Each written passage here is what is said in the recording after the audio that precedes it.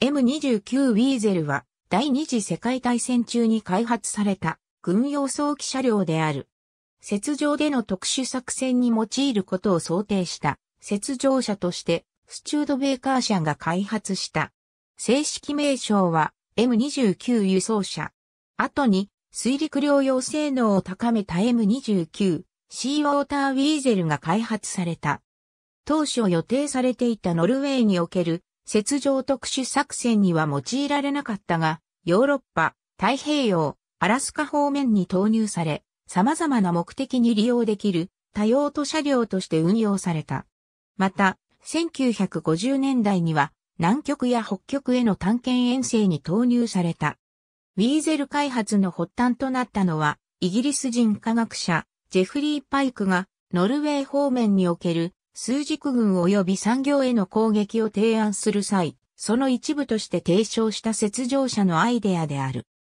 彼が提案した計画は、プラウ計画と名付けられており、ナチスドイツの核兵器開発阻止を最終的な目的としつつ、これを達成する小規模なコマンド部隊とともに、パラシュートで降下することが可能で、なおかつ雪上での装備等の運搬や移動を速やかに行える軽量高速輸送車が必要とされていた。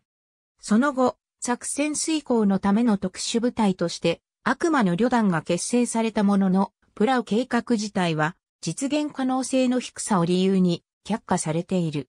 1942年、スチュードベーカー社は180日以内の製造開始を条件に契約を結び、プラウ計画向け雪上車の設計を開始した。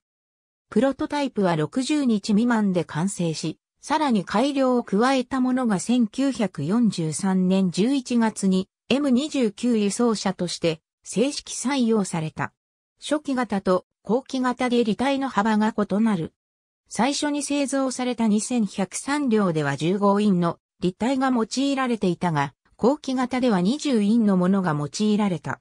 水陸両用車であり、水上航行能力を有してはいたが、還元が小さく浸水の危険があった。M29C ウォーターウィーゼルは水上航行能力を強化したモデルで前方及び後方にフロートが設けられ2枚舵が追加されていた。プラウ計画自体は開発中に却下されていたが、雪上以外にもデーチや砂地、沼といった通常の送輪車の運用が困難な地域を走破可能な車両として M29 は重宝された。ヨーロッパ、太平洋、アラスカ方面に投入された M29 は、軽輸送車、指揮車、通信車、救急車、電話線敷設車など、様々な任務のために使用された。第二次世界大戦終戦までの生産数はおよそ1万5000両だった。1950年代に入ると、極地探検に用いる雪上車として M29 に注目が集まり、各国の遠征隊によって広く使用された。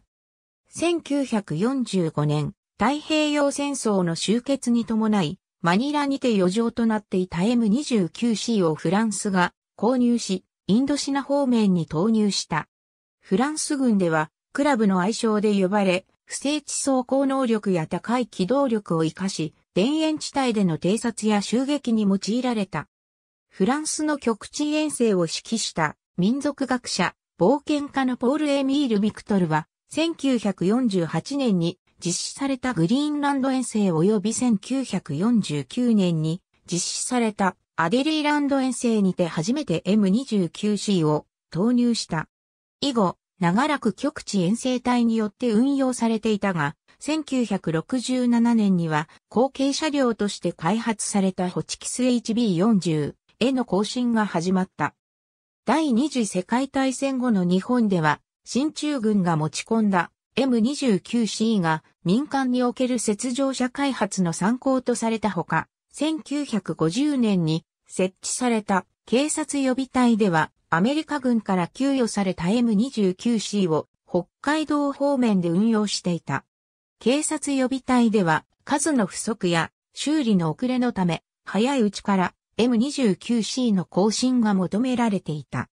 1952年から後継車両の開発がスタートし、自衛隊への改装を経た1960年になって、60式3トン雪上車が採用された。エンジンは、スチュードベーカー製6から170チャンピオンで、元は1939年に発売され、当時経営難にあったスチュードベーカーの業績を立て直すヒット作となった小型乗用車チャンピオン用の民生エンジンを流用したものである。エンジンのスペックは水冷サイドバルブ直列6気筒、排気量 169.6CU イン、4ストローク、72オクタンガソリン使用、回転数 3600rpm、70馬力。燃料タンク容量は 35US ガル。平均的には1ガロンあたり5マイル走行できたので、一度の給油で165未走行することが可能だった。ありがとうございます。